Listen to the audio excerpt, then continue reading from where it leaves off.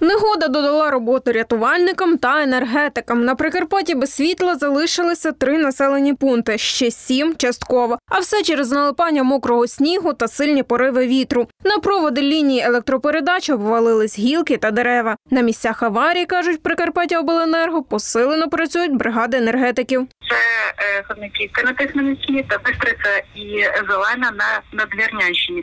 Частково без електропостачання декілька вулиць Тисмениці, Ольця, Кнева, Луковиці, Луки, Вольнилова та Черника.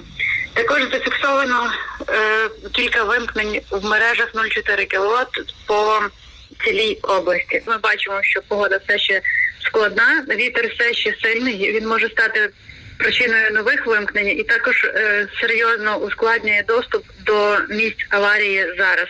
До ліквідації наслідків негоди залучили і прикарпатських рятувальників. Тільки за добу вони здійснили чотири виїзди. Надзвичайники розчищали дороги, на які через сильний вітер впали дерева та перекривали рух транспорту. Було залучено 15 рятувальників. Також 17 січня поривом вітру в селі Загайпіль на Коломийщині пошкоджено покриття та дерев'яну обрешітку на крівлі одноповерхового будинку будівлі будинку культури на площі орієнтовно 30 метрів квадратних. Просимо на період ускладнення погодних умов не ходити під розлогими деревами та не паркувати під ними транспортні засоби.